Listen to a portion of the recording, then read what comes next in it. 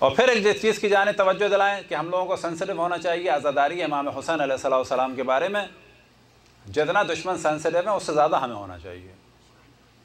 और तवज्जो दिलानी चाहिए दूसरों की हमें कि ये क्या वजह है कि किसी भी फिस्क से, फजूर से, शराब से, जना से बेहतरीन गुनाह से निकाह टूटने का फतवा मौलवी नहीं दे रहे। ये मुफ्ती सब ये वहाबी कस्म का दुश्मनान अहल है किस चीज़ से निकाह टूटता है उनका? नवास रसूल के ज़िक्र से। नवास रसूल की मजलूमियत को बयान करने से। वजह क्या है? वजह क्या है कि जब नवास रसूल की मजलूमियत बयान होती है तो ये सिलसिला यहाँ से शुरू होता है, शुरू होता है, शुरू होता है। ये पजल्स की तरह से चलता चलता चलता चलता इनके उन आशियानों तक पहुँच जाता है कि इनको ख़तरा है उससे।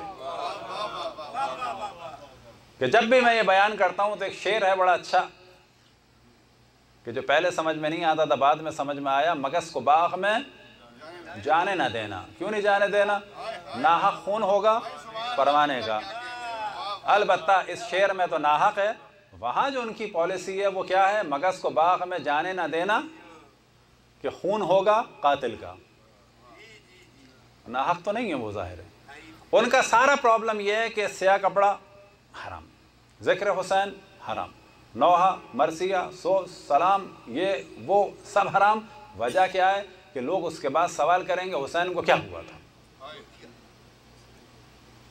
मार दिया। अगर ये हमारे आंसुओं से होगा, अगर हम ये सोच रहे हैं कि मातम छोड़ के फ़कत रोएँगे, जैसा कि बाज़ मॉडर्न लोग अपने आप के बारे में ख्याल करते हैं तो भूल जाएँ। ये कहेंगे ना, ये रोना जो है, ये प्रॉब्लम है। रो क्यों रही है सबके सब? क्यों रो रहे हैं ये? वजह क्या है कि लोग सवाल करेंगे, रो रहे हैं? किस पे रो रहे हैं? इमाम हुसैन पे रो रहे हैं। क्यों रो रहे हैं? शहीद किया था। किसने शहीद किया था? जापान वालों ने कि चाइना वालों ने किया था? आखिर जापान, चाइना उस वक्त भी थे, ऐसा नहीं अभी अभी हुए हैं। या किसने किया था? किसने मारा था? यजीद ने। यजीद को कौन लाया था? हमारे यहाँ याद रखें, बाज़ बड़े जहीन लोग हैं जो यजीद की मुखालफत कर रहे हैं। ये ज़्यादा जहीन हैं किससे? जो उन मुखालफत नहीं कर रहे। ये आपको ताजुब होगा। कि जो बास फ़िरक़ इस्लामी यजीद की मुखालफत करते हैं और बाज़ फ़िरक़ इस्लामी यजीद की हिमायत करते हैं, ये जो मुखालफत कर रहे हैं, अगर इनमें से अवाम को नहीं पता, लेकिन इनके बाज़ से कि जिनके बारे में हमें मालूम है और उनकी बातों का हमें इल्म है कि वो क्या कहते हैं तो आपको ताज्जुब होगा। उनमें से एक तबका वो है कि बाबा यजीद के ऊपर कंप्रोमाइज़ कर लो, वह इल्ला बात और आगे पहुँचेगी। अब उनमें से बाज़ आ गए मुआविया तक। अब वो खुल के अंदर नशस्तों में कहने लगे हैं कि इन दो को जाने दो, बाकियों की दाढ़ी बचाओ। इनको ऐसे मसरूफ कर दो।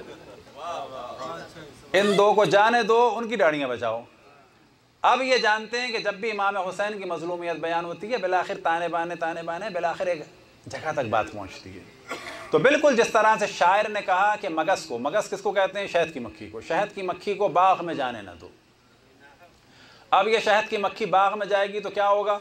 कहते हैं, परवाने का खून हो जाएगा। बाग में जाने से परवाने का क्या ताल्लुक? बाग में जाने से ताल्लुक ये है कि शहद की मक्खी जाएगी, फलों का रस चूसेगी, फलों का रस चूसेगी तो शहद का छत्ता बनाएगी, शहद का छत्ता बनेगा तो उसको कोई तोड़ेगा, तोड़ने के बाद शहद अलग होगा, छत्ता अलग होगा, छत्ते का मोम बनेगा, मोम की मोमबत्ती बनेगी, मोमबत्ती जलेगी तो परवाना जल जाएगा।